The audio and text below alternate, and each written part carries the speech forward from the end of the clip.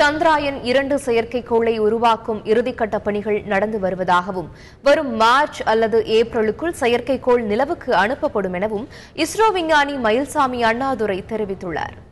மூணு செயற்கைக்கோள்கள் மூணு வகையில் ஒன்று காட்ரோசேட் முதல்ல ஒரு சே- அனுப்பின சேட்டலைட் அதில் சில மாற்றங்கள் செஞ்சு அனுப்பிச்சிருக்கோம். அது இல்லாமல் பத்து கிலோ அடைவுள்ள ஐஎன்எஸ்ங்கிற சேட்டலைட் அதுவும் சரியாக போயிருக்கு. மைக்ரோசாட் இப்போ சர்ச்சமயம் வந்து சமிக்க பிரகாரம் அதுவும் சரியாக இயங்குது. ஏன்னா கீழே ஒரு ஆர்பிட்டு கொண்டு வந்து நானூறு கிலோமீட்டர் ஆர்பிட் தர மாதிரி. அது மாதிரி செஞ்சதில் அதுவும் சரியாக இயங்குது இந்த வகையில் பிஎஸ்எல்வி திரும்ப ஒரு பேங்கோட வந்திருக்கு.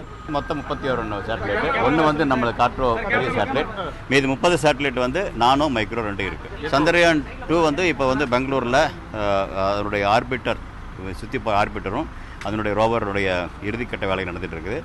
லேண்டர் வந்து ஒன்று அதனுடைய பரீட்சாத்த இதுக்கு வந்து மகேந்திரகிரி மகேந்திரகிரியில் எல்பி எப்பிஆர்சி பெங்களூரில் அதனுடைய பரீட்சாத்தை நடந்துகிட்ருக்கு இதெல்லாம் எல்லாம் முடிஞ்சு அதனுடைய அடுத்து இறுதிக்கட்ட வேலைப்பாடு நடந்துட்டு மார்ச் ஏப்ரலில் அதனுடைய வேலைப்பாடு நிலவில் இருக்கணும்.